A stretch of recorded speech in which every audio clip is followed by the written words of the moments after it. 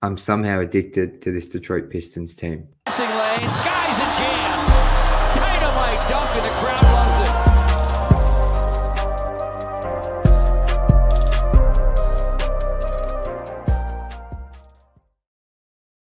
Welcome back to Pistons Intellect. I'm your host, Jack Kelly. You can follow me on Twitter at Jack underscore Kelly underscore 313. And today we're going to touch on the Pistons 110 112 loss to the Houston Rockets. But wanted to open the show uh, just by talking about the title and kind of my addiction to supporting this team. I only two days ago made, the statement that done making content till Cade's back or change is made, but I don't know, man. I'm I can't take my eyes off this team. And it's not because of the losing or the train wreck it is. I just I don't know, there's something in me. I regardless of the content piece of all this, I was always going to watch the games. And they somehow find a way to reel me back in. And yeah, I I don't know, when I made that little statement on Twitter the other day, I was really feeling it. Like I was I think we've all gone through this watching this team this year where we tell ourselves, I'm done. Like I'm not watching this. Every 20 to 30 point loss within the few hours after you tell yourself, I'm done. I'm not doing this. And I've had those thoughts plenty of times, but they were, I thought they were kind of like the feelings I had after that Spurs game were the the darkest I've had as a fan. And but anyway, we find ourselves here. I, I don't know. There's just something there's something within me. Like I I I love this team. And though I've never seen any real success with the team, uh, part of me thinks that I need to, if I'm going to sit down and watch these games every day as much as I can and think about this team as much as I do, I may as well keep making some recap videos and getting my thoughts out on screen, even if they're a bit all over the place. So, I guess part of the reason I am so addicted to this team in particular is probably similar to a lot of you, and that is because of the young talent on this team. And while we may not all be as high as on each of these players as we were on draft night in each of their particular drafts, more often than not, each game one of these young guys or two of these young guys will make plays that just draw you back in and give you this slither of hope. And at the same time, they also make tons of costly mistakes, which drive you insane. But I don't know. It's like between Jaden Ivey, Jalen Duren, and even Ausar Thompson tonight. Uh, Isaiah Stewart to a lesser extent, but he's still relatively young. Yeah, I think on the whole, like that's that for me is the thing that keeps drawing me back so much is each of these players I truly believe they might not be all stars and stars, but I truly believe there's so much young talent here. And obviously the main question is can it fit together?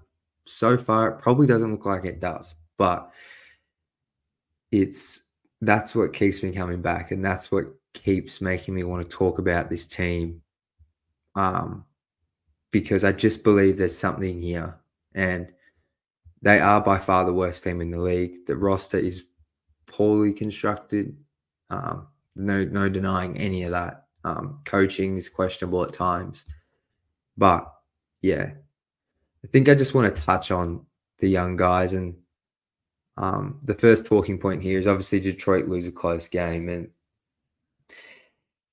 man, I'll I'll be truthful here. I missed pretty much the first nine minutes of the first quarter, and I missed a few minutes at the start of the third quarter.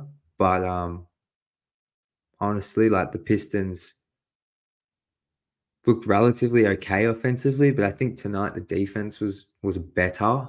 Wasn't great, wasn't amazing, but it was better. Um, and I think that was like when you look at the box score, Isaiah Stewart was minus 10, I think. But I think just having his physical presence back alongside Jalen Duren um, just helps. Those two, they aren't amazing defensively as a duo. Like, and I believe that's some of that's because Stu, I still believe, is kind of out of position at the four defensively. You're not fully maximizing his strengths.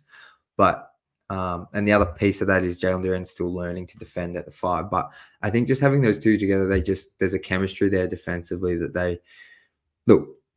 Like I said, they're not amazing, but it just gives the Pistons more presence on the interior um, for the most part. And uh, Stu had a relatively decent game offensively. He's still turning threes down, but for his first game back, um, I think to sh- to score 16 points, have seven boards, um, and shoot three of eight from three uh, is is not bad. It, it's a pretty good comeback game after being out with a, I think it was a big toe injury. So to have some form of foot injury and come back and play play like that, I think is a positive. Um, whether or not he should be the starting for the future, I'm leaning towards no after originally being high on that. But I think just having his presence back in the lineup clearly helped the Pistons um, tonight because although this Rockets team has struggled on the road, they're they are now 19 and 18 on the season, um, and you know they're in a much better position than Detroit are. They're well coached.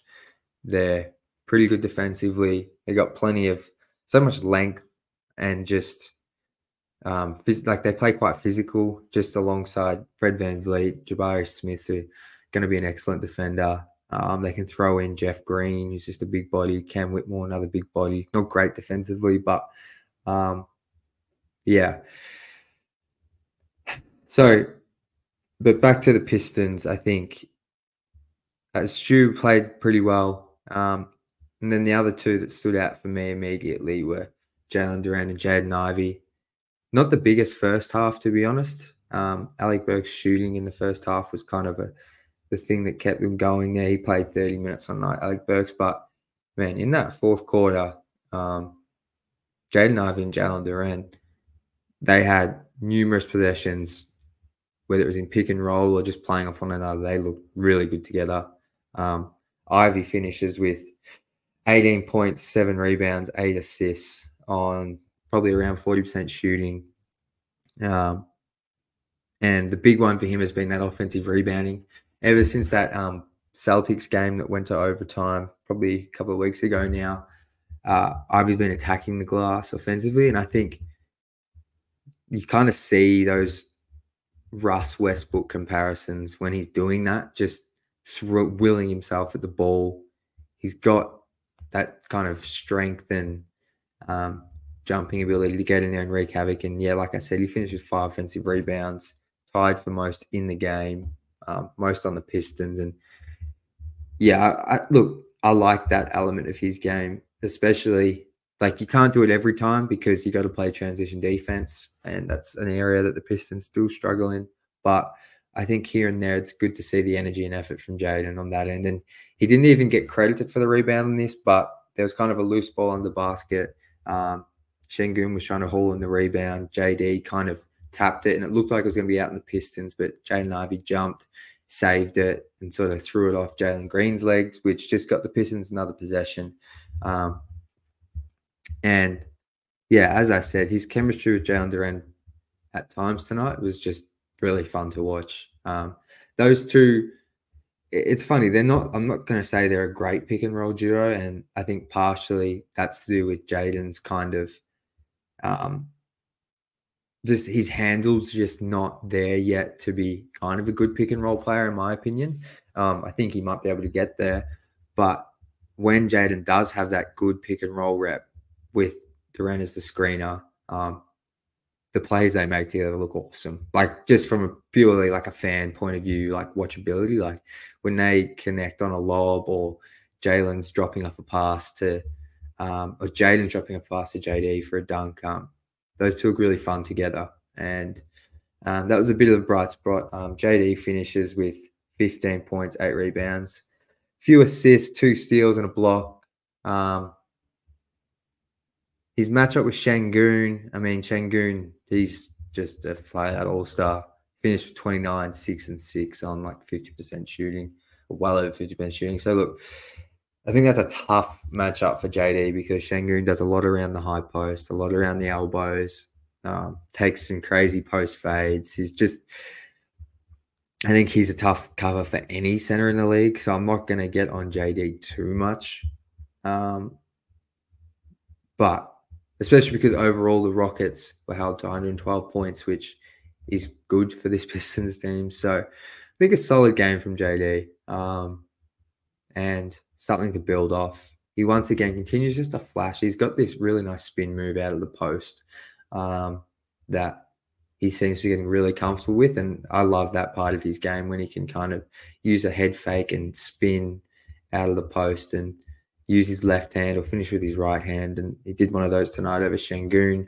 Um, and just continues to show a little bit more of the bounce. Like from what I saw, I didn't see any jumpers tonight, which I'm happy with because I just I don't think that's something worth developing right now this season. Um, that's just my opinion, but I think solid game defensively for him. But think this brings me to my next point, uh, and that's the turnovers and poor decisions, which continue to kill this team in any form of any game, but particularly in the close games. I this team's had so like that's lost number 36. They've lost seven in a row. They've lost 30, 34 out of the past 35. Like Uh, a lot of these losses just merge into one for me. But one thing I'm sure of is they have had at least four to five of these exact type games where it comes down to the final minute or Pistons are ahead with five minutes to play, like they were tonight. And it comes down to the final minute and just bizarre decisions and turnovers continue to cost them. And tonight, the Pistons got out to a five point lead off the back of an Alec Burks three with around five minutes to go, which, you know, that's not much of a lead at all in this day and age, especially with that much time to go. But I kind of felt like, you know, they're up by five, five minutes to go on their home floor. The crowd was the crowd was into it. And it just felt like they had some momentum. Um, Jaden Ivey then again after Sengun makes two free throws comes back down with just four and a half minutes to play and dunks all over Sengun. And that was another moment we thought, right, I have pretty much zero confidence in this team, but I, am thinking, right, okay, don't like that's gonna that could be the moment that kind of sparks his team, like dunking on Sengun. But then Sengun comes straight back down, another two points. Jaden and Jalen hook up for a really cool assist on a huge dunk where Jalen put it behind his head on a two-handed jam. Another one of those moments you think, okay, these are just the type of moments that I feel like you get in a win. Like I, I just I it was around that time I tweeted out that like Jalen and Jaden make me feel things like I have an addiction to this team because I was fully not planning on doing any content or just tweeting or anything about this team, but they just reeled me back in and I was thinking, okay, they're gonna win. It's safe for me to get excited. But no, it doesn't. Fred VanVleet makes a floater, draws a foul, then comes back down. A few possessions later, and nails a three to put the Rockets up 108 107 with a minute 40 to go. And honestly, that was the moment there. The second they got down by one point, I just, you have the sinking feeling because you know the second they are down in the game, especially with this amount of time to go, they, the demons, like if we're feeling it as fans that they can't close games, I would be utterly shocked if the players don't feel that, you know, lack of confidence to close games because they've so many times faltered. And sure enough, coming out of the next possession following that VanVleet, Van Vliet three, uh, Jaden Ivey looks to make something off the bounce and dribbles it off his foot. And immediately it goes straight to the Rockets. They bring it back down the floor. And then what do you know it? Another pull up jumper from Fred VanVleet, a guy that a lot of people mocked in the off season mock the Rockets for spending all their spending a fair portion of their cap space on Fred VanVleet, um, a veteran point guard. But what do you know? Veterans who can do stuff on a consistent basis help you win games. And Fred VanVleet hit two huge buckets. I believe he scored 12 points in the last quarter. And yeah, next possession down, uh, Stu turns it over once again. Rockets have the ball up 110 107 with a minute to play. Sengun gets a wide open dunk. And that's when the sell the, sell the team chance started sort of coming out again. Um, Stu kind of made up for it, hits a catch and shoot three down the other end. But yeah, the Pistons get one final chance and Jaden Ivey pulls up from three. It was a pretty gross shot in the sense of it came off the glass, but that thing was halfway down, rolls out, and for a split second, Jalen Duren has his hand on the ball, and you think he's putting that back in, but just can't control it, and the Pistons lose.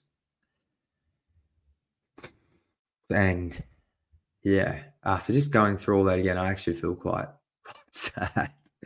But yeah, I mean, I think the one the one positive to take from this and one major question I have going forward is how much did, did Bojan Bogdanovic's absence and the, the around 30 minutes he plays a night play into the Pistons holding the Rockets to 112? And how much of that was just maybe the Rockets not being a good road team and kind of, you know, having an off night potentially? Because yeah, I mean Kevin Knox isn't a great defender, but he shot the ball really well tonight. He's tall. He's definitely not as bad as Bojan defensively, but I still think Bojan starts no matter what. I think maybe more of the defensive. I think it's potentially less about Bojan being out and more about Stu being back at the four, just to help on the glass, to help be, have that bigger body, bigger presence in there alongside JD. So, look, I think feels like Killian's going to continue to start tonight. He goes two of six, has the eight assists once again. But like, I really don't want to sound like I'm bashing Killian, but it just the those assists for some reason just don't hit the same as a normal eight assist game. Because I just when I watch him in pick and roll and that kind of thing, he does not look at the rim and half the time he'll dribble it in, get to the elbow, and then like dribble back out, or he might get into like the center of the key, but he's not even looking at the rim, and it just I don't want to discredit his passing because he's a he's a fine passer for sure, but I don't know. I don't know.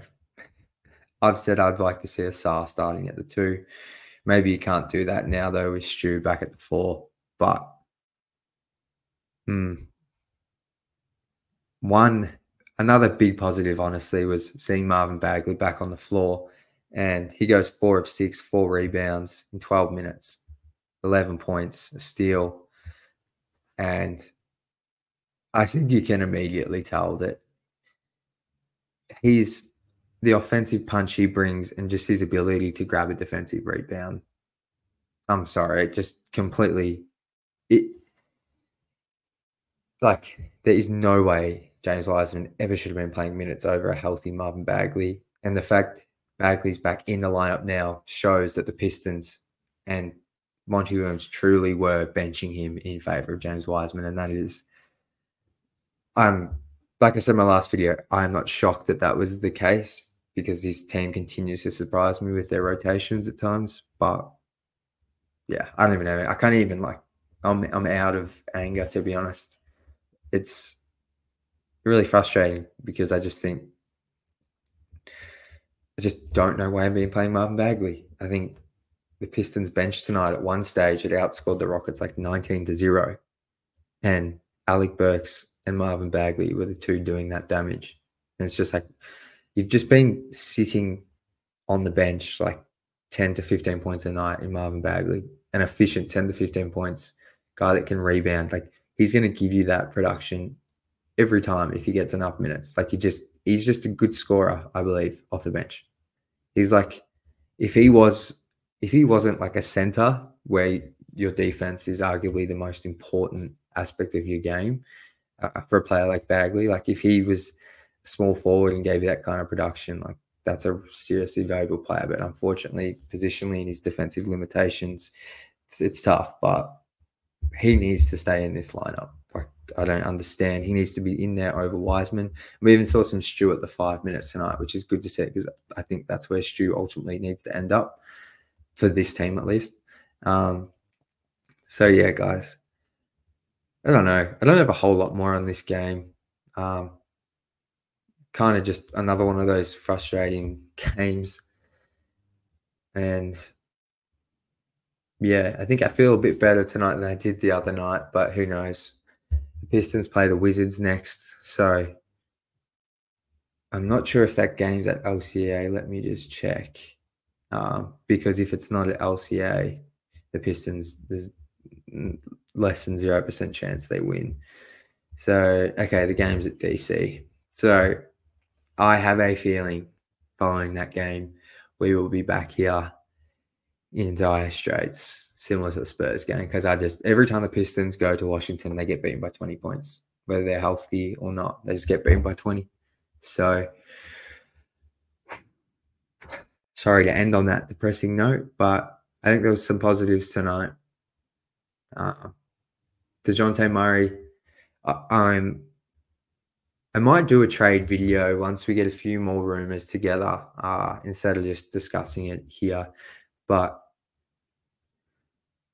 yeah, I don't think Dejounte Murray is the guy. I will say that, but it's something I'm willing to discuss and kind of go through because Ivey looked decent tonight, but um, yeah, I'm, i still think you keep Ivey. I just think there's a discussion there. I don't think it's 100% set in stone that Jaden Ivey and Cade Cunningham, you absolutely need to keep them together. Like, I think having a discussion, I don't think even Dejounte is the best guy to put next to Kate, but it's just worth a discussion. And it is good to see the Pistons are kind of linked and in those talks. I will say that. So, um, anyway, that's going to do it. Let me know your thoughts below.